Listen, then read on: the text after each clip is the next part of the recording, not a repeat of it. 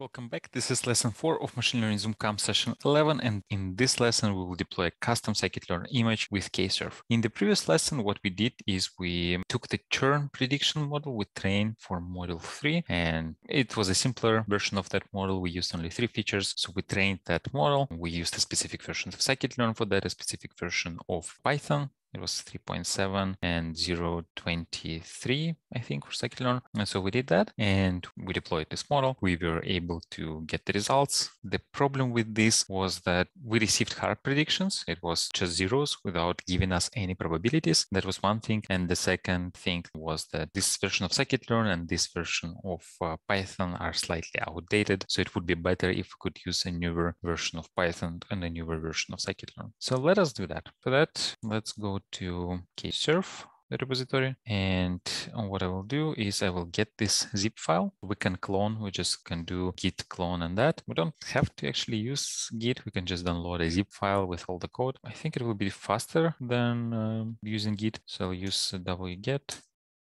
Now it's master. So let me make a directory. I'll call it KServe and then move this master there. And now let me go there and unzip this thing here. Yeah, we have this KServe master. This is our code. Let me remove the zip file, master zip, and then go KServe master. And here in KServe master, we have, if I go to Python, these are our files. So first thing I want to change is the version of Python. So it's scikit-learn docker file. So let me open this with VS Code. It's simpler. So we have Python and then scikit-learn Docker file. Instead of that, I want to use uh, Python 3.8 because this is the version of Python we use throughout the course. Even though now there is a newer version 3.9, just to be consistent, I will use 3.8 as well. And then if I go to scikit-learn server, setup.py, let me use scikit-learn version 1.0. And the rest I will keep as is, I will not change. I want to create file git ignore and then put this uh, KServe there. So it's not in git and git doesn't try to index it. So i'm in this directory and let me just build this image. So i will do docker build minus t. This is the tag. It's scikit-learn server or maybe KServe scikit-learn server and then the tag would be, let's say 0.1, uh, something like 3.8 version of Python minus 0.1. So the first would be version of Python and then the second version of scikit-learn. Then now we need to specify the file, the Docker file, because we have a bunch of Docker files here. So we need this scikit-learn Docker file and then the dot, uh, meaning that we will use the current directory for that. Let's run that. And now it will install the whole thing yeah, it finished. Let me copy this just for your reference. So we built an image, but actually now the model that we have here, this, oops, let me go back. So the model that we have here, this model joblib is actually a model that we trained for an old version of Python and an old version of scikit-learn. So we want to train it with a new version of Python and a new version of scikit-learn. Version of Python I have here is already 3.8. Let me check the version of scikit-learn I have. So it's actually a newer one. Let me create a virtual environment with pipenv for that because here I am already on version 3.8, so I don't need to worry about different versions of Python. And I like pipenv more than conda, so when I have a chance and when it's easier to use pipenv, I just use pipenv. So I want to use it here. I'll just use pipenv install scikit-learn 0.1. And then we also need joblib and pandas. I think that's all we need. Let me install it. have it here. Install.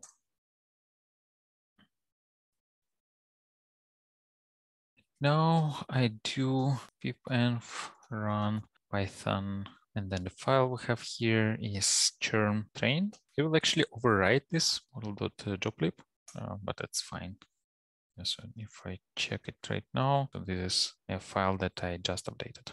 Okay, so we have a new version of the model. We can actually use this Docker image that I have we can actually use this to check that this model works. I'm just doing docker run. For docker run, we need minus it minus minus rm, then the version of the image. What we also need to do is uh, we need to mount this file to this slash mount slash models in kserve. For that, it's uh, minus v. Let me actually do it here and then I'll copy it.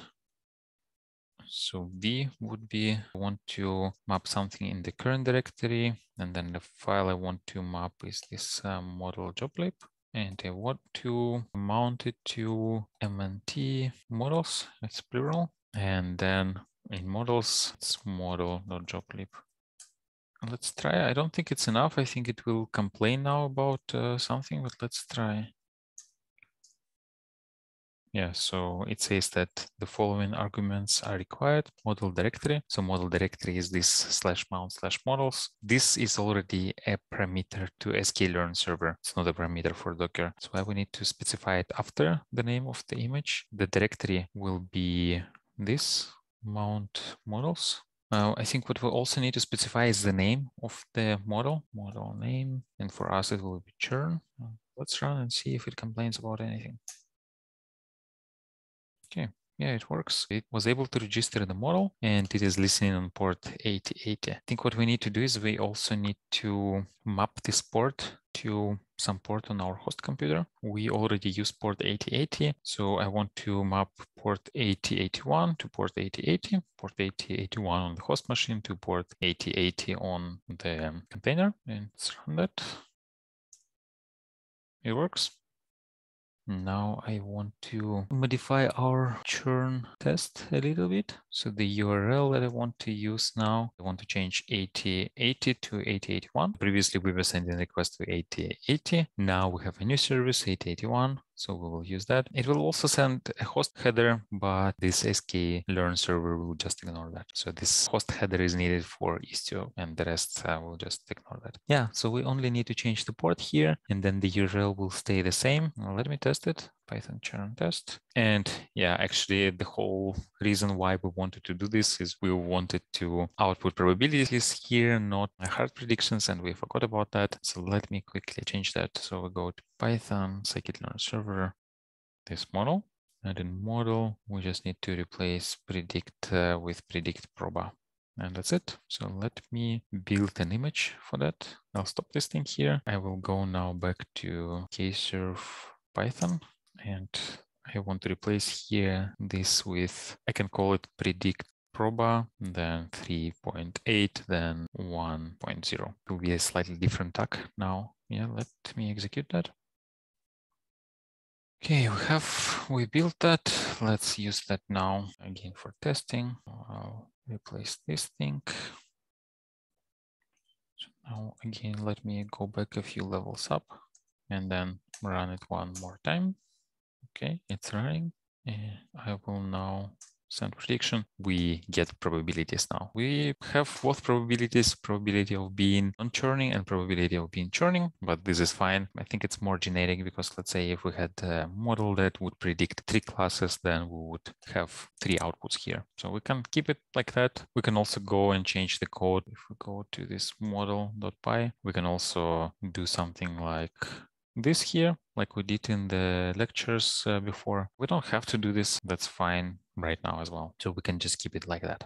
Okay, we, we see that it works. So we can stop our Docker file. So this is how we test this uh, scikit-learn server locally. And this is exactly how we also test other kserve services locally, XGBoost server and so on. They are all very similar. And now what we will do is we will go to our churn service definition. So this is our YAML file. We will leave this untouched. Storage URI is still the same, even though remember we retrained this model. This model is trained for a newer Python and newer scikit-learn. And this is the same scikit-learn and Python that we have in this new Docker image. And now what we can do is specify an image here. Image will be and then the name of the image. So the name of this image will be this case service scikit-learn server predict proba.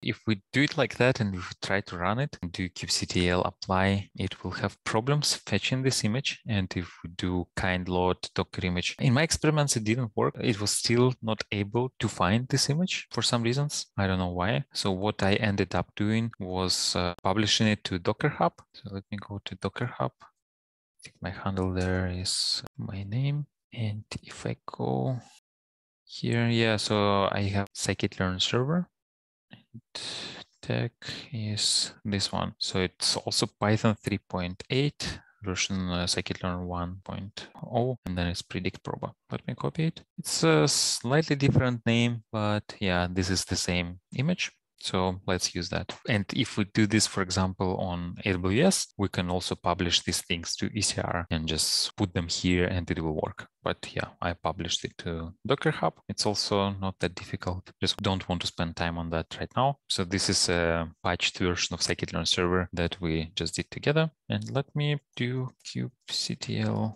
apply minus f. Now this churn service and it's configured because we already have a version of that. Actually, uh, I think I have quite a good computer here, but I still don't want to let it use all the resources that are available. We can also here set limits of how much resources we allow this predictor to consume. So this is very similar to what we do in a definition of a deployment. So we here write resources and we write limits. And this will let Kubernetes know up to how much resources this service can consume. So let me uh, say it cannot consume more than one third of uh, a CPU. And when it comes to memory, let's say 256 megs that should be sufficient for that. Now let me apply this kubectl. Actually, let me check what kind of uh, services are running there already. So we have our churn service, we have our scikit-learn iris service. I want to remove the scikit-learn iris one, and I also want to remove churn one and just load it once again. Uh, actually, you see, we applied here. Uh, maybe I will not remove churn. I will just update it. So if I update it one more time, what we should see is that it will have probably version 3 here. So now it says ready false. It will take some time and then it will probably get a third version. In the meantime, I want to remove the scikit-learn iris. That's kubectl delete inference service scikit-learn iris. Now let's check once again. So it's still not ready. Ah, let me remove it as well. So I removed it. I hope it's uh, enough resources for it. So I'm not sure why it's still not ready. Now let me apply it one more time. minus f churn service. So it created a service. Let me see kubectl get ISVC. Okay, it will probably take some time. What we can also see is what exactly it's doing right now. We can do kubectl describe ISVC in churn, then less, and it will tell us some things probably. So yeah, this is the image that we use. So see that when I request for resources, there is limits and requests. So requests is how much it requests at the beginning, and then limits is uh, up to how much it can go. And actually the request is higher than the limit. So maybe this is why I have some problems right now. Let me have requests here and limits. I'll just increase it a little bit. We will request one third of a CPU and 256 megabytes, and then we will cap this uh, resource consumption at this amount. So let me try to do kubectl apply again. And let me see what kind of requests yeah, so now it's different requests actually lower than limits. Let's see if it actually helps. kubectl get pod. Yeah, so now we have a pod. So previously when I was doing kubectl get pod, there was nothing, but now I see that something is running there. And if I do kubectl get uh, isvc, then we see that this thing is running. It's version two. And where is our test? Churn test. I again change it to 8080. Don't need to change anything else here. Let me make sure that this port forwarding still works. And now let me do Python churn test. Okay, we got our predictions. These are probabilities, and these probabilities are coming from Kserve. We were able to deploy a custom image to Kserve, and this custom image contained a recent uh, version of Python, a recent version of scikit-learn, and the patched version of sklearn server with predict proba instead of predict. Now let me check if I didn't miss anything. So we saw how to customize the image and we saw how to run any scikit-learn model with Kserve. Uh, one caveat here is is that it has to be a pipeline because we do just model.predict or model.predict proba. That's why everything that we have should be inside this pipeline. So if we have any pre-processing, it should be in the pipeline. We actually will later see that we can also put pre-processing outside of the predictor. We can use transformers for that. So we will use that a bit later in lesson six. And in the next lesson, we'll see how to deploy a TensorFlow model with KServe. So see you soon.